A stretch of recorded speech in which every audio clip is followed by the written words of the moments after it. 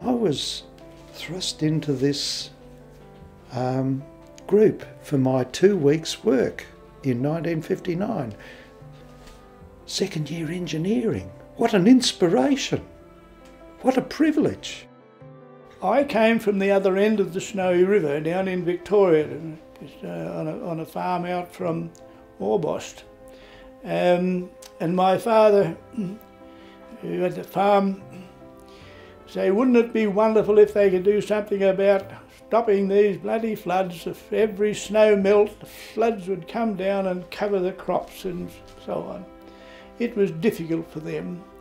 And then when the Snowy scheme started, he was one of the ones who was invited because at the time he was the Shire president. And when he returned, I know his eyes were still big like this, and he said, they're going to put tunnels through the mountains and they're going to take the water into the inland rivers. And, and uh, this seemed to be so far-fetched for, um, for, for me, just a, a country boy.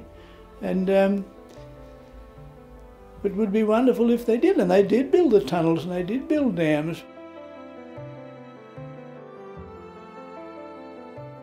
So it was a huge investment for Australia, but of course the, the, the benefit was absolutely um, outstanding, not only with regard to the water that would be diverted to inland Australia, but in the production of hydroelectric power from water falling from great height to a low level.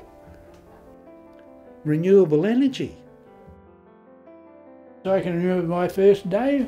I went down to, uh, was allocated a, uh, a, snow hut and given a palliasse, like a big long hessian bag, told to go up to the shed up the road to stuff it with straw for my mattress. I had to provide my own pillow and blankets, which I had brought with me. And so I put that on an old wire bed face, and um, that was my that was my uh, my bed. Working in the cold, well, you certainly had to work, and we didn't have the type of footwear and so on that is available these days. And so you would put on two pairs of socks and uh, quite often wore your pyjamas underneath your trousers um, and a jumper or two. And um, you had to provide your own gloves if you were working, but uh, well, you, you had to work to keep your blood circulating. We were all felt very proud.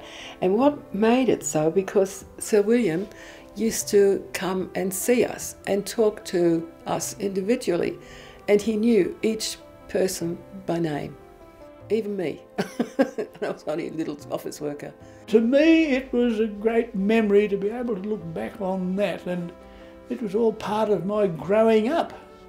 And uh, I'm certainly glad that I my feet turned me in this direction when they did, and I found a place on the Snowy scheme.